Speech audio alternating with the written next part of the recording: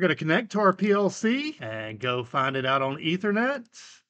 Click OK. Oh man, that's just dirty.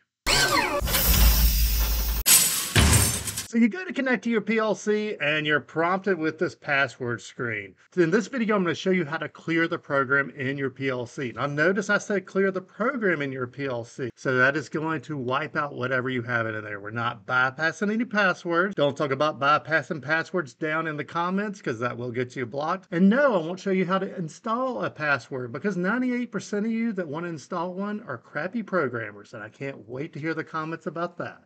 I'm going to cancel out of this and then we're going to create a new program.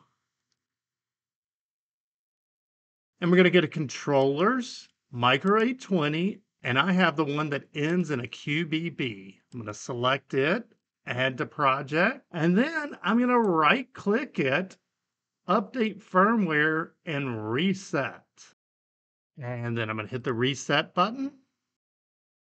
And notice here they're saying failure to maintain communications may render the device inoperable. It really means that. Don't be sitting there checking your email. Don't be watching YouTube. Although if you are, hope you're watching this channel and you've hit that subscribe button. And now it says reset successful. Now when we go back to connect at this point, we're going to get connection failed. And we're going to go ahead and hit the retry button because that's going to bring up the connection browser and we go here, we watch 14, we're going to get a red Xbox. And that's because it completely reset it to an out of box condition. And so I've created this playlist right here to get you started in Connected Components Workbench.